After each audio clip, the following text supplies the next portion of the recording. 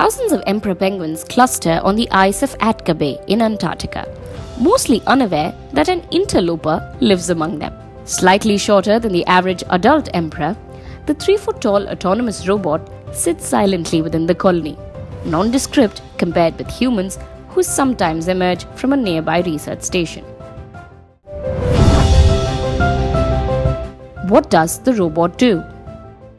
As stock predators, emperor penguins are ideal species to study in a fluctuating ecosystem because they can reveal if something is wrong. By studying these birds, the robot helps scientists and researchers learn about the impacts of the climate crisis in Antarctica. Surprisingly, little is known about these penguins because Antarctica isn't the easiest place for scientists to access. Why a robot?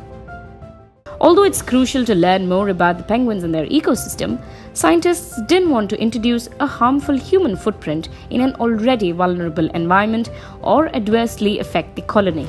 A successful trial of the robot this year is already showing how that may be possible. Echo, the robot.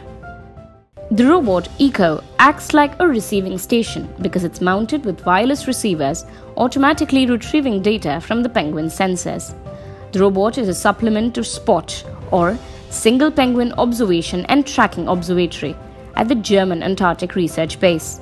With ECHO, they don't miss out on a chance to collect data, as ECHO helps in tracking and studying penguin behavior over time. The researchers can observe how these animals adapt to their environment shifts due to climate change.